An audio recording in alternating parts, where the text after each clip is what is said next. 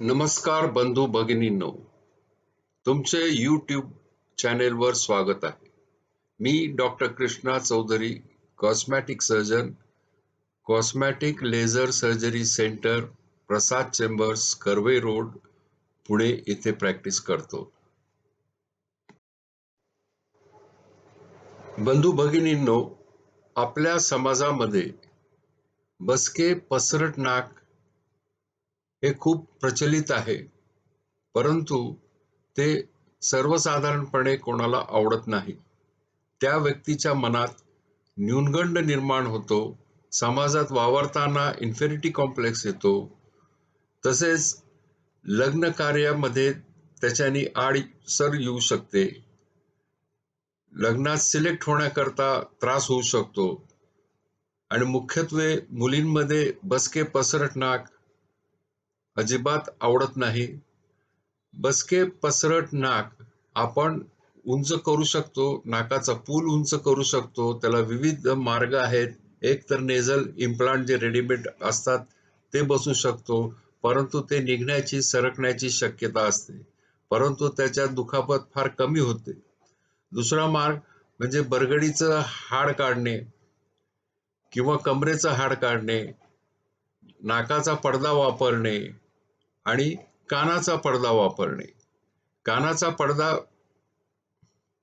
जो दोन त्वचेमध्ये असतो लवचिक भाग त्याला कॉन्काय म्हणतात तो काढून त्याचे बारीक तुकडे करून योग्य ते आकार देऊन नाकामध्ये पुलावर बसवल्या जातात व त्याच्याने उंची वाढू शकते.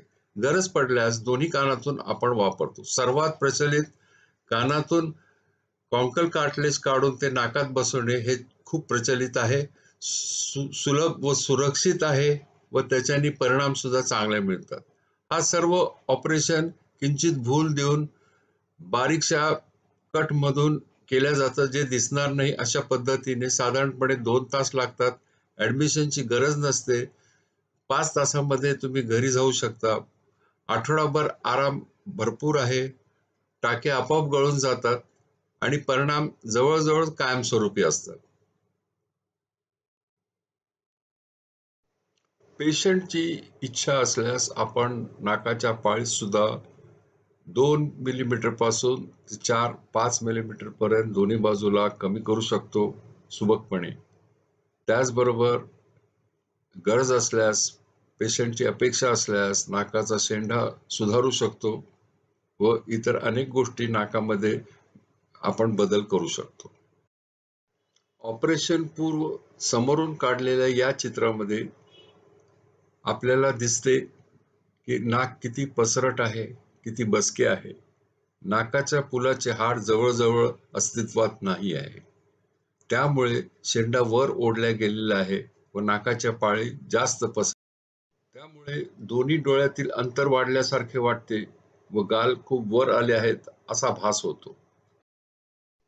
साईडनी घेतलेल्या या फोटोमध्ये आपल्याला अंदाज येतो की नाक किती बसका आहे व नाकाच्या पुलाचे हाड जवळजवळ अस्तित्वात नसल्यासारखे वाटते. त्यामुळे नाकाचा शेंडा वर ओढल्या गेलेला आहे व नाकाच्या पाळ्या उघड्या पडलेल्या आहेत असं वाटते.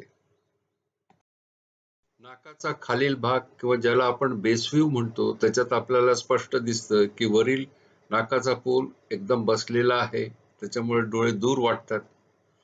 शेंडा वर ओढल्या गेलेल्या आहे व नाकाच्या पाळी पसरलेल्या आहेत समोरून घेतलेला फोटो हा चार महिन्यानंतरचा आहे.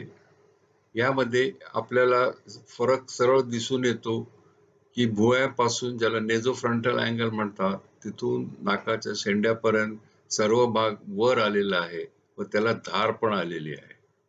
तसेच नाकाच्या पाळ्या बारीक झालेल्या आहेत. साईडने सुद्धा आपल्या लक्षात येते की ब्रिज वर आलेला आहे नाकाचा पूल उंच झालेला आहे व शेंडा आधीच्या पेक्षा सुधारलेला आहे.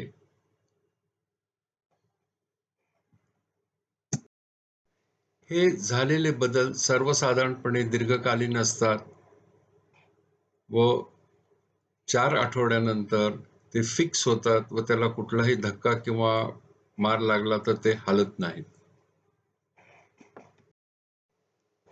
बंधू भगिनींनो माझ्या प्रॅक्टिसमध्ये नाकाच्या सौंदर्य वर्धक शस्त्रक्रिया फार मोठ्या प्रमाणात अनेक वर्षापासून केल्या जात आहेत त्यात काही ठळक गोष्टी ज्या वारंवार होतात नागपुड्या बारीक करणे बोथड शेंडा सुंदर करणे धारदार करण्याचा प्रयत्न करणे. वाकडे तिकडे नाक असेल तर ते सरळ करणे नाकाचा पडदा सरळ करणे. नाकाचे हाड ज्याला आपण हांब म्हणतो बऱ्याच व्यक्तींमध्ये नाक खूप मोठे असते व नाकाचा जो पूल किंवा हाड असतं ते खूप वर आलेलं असतं.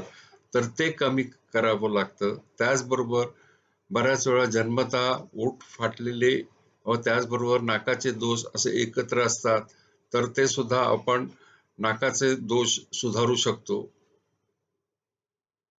इतर अनेक गोष्टी आहेत ज्याच्यात नाकाची त्वचा त्वचेवर होणारे प्रॉब्लेम्स त्याच्यावर येणारे पिगमेंट्स डाग खड्डे किंवा ज्याला रायनोफायमा म्हणतो जाडी वाढणे या सर्व गोष्टी आपण ट्रीट करू शकतो.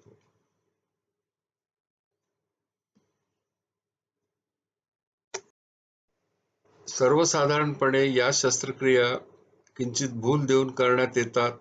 साधारण एक ते तीन तास त्याला लागतात. ऍडमिशन ची गरज नसते. संध्याकाळी पेशंट घरी जाऊ शकतो. तिसऱ्या व सातव्या दिवशी आपण ड्रेसिंग बदलण्याकरता पेशंटला बोलावतो. आठ ते दहा दिवस थोडीफार सूज राहू शकते. बहुतेक टाके आपोआप गळून जातात. माझ्या क्लिनिकमध्ये सर्वसाधारणपणे नाकाच्या ऑपरेशनचा खर्च पस्तीस हजार रुपये येतो. प्रत्यक्ष पेशंटला तपासल्यानंतर व त्याच्या अपेक्षा काय आहे व काय काय करावं लागेल हे लक्षात आल्यानंतर आपण एक्झॅक्ट खर्च ठरवू शकतो. बाहेर गावून येणाऱ्या पेशंट करता एक सूचना की तुम्ही येण्याआधी तुमचे फोटो चांगल्या क्वालिटीचे समोरून साईडनी व नाकाच्या खालून असे फोटो मला पाठवा. अवश्य आम्ही तुम्हाला संपर्क करू व तुम्हाला माहिती देऊ की तुमच्या केसमध्ये काय शक्य आहे आणि काय शक्य नाही व सर्वसाधारणपणे किती खर्च येईल. त्याप्रमाणे मग तुम्ही इथे पुण्यात येण्याचे ठरू शकता. बंधू भगिनींनो हा माहितीपट पाहिल्याबद्दल धन्यवाद. तुम्हाला अधिक माहिती हवी असेल तर अवश्य nine three seven three five zero four five six five इथे संपर्क करा. सर्व प्रकारची तुम्हाला माहिती व मार्गदर्शन मिळेल. किंवा तुम्हाला क्लिनिकमध्ये मोफत तपासणीचा लाभ उठवायचा असेल तर अवश्य फोन घेऊन अपॉइंटमेंट घ्या. संध्याकाळी सहा ते आठ सोमवार ते शनिवार. धन्यवाद.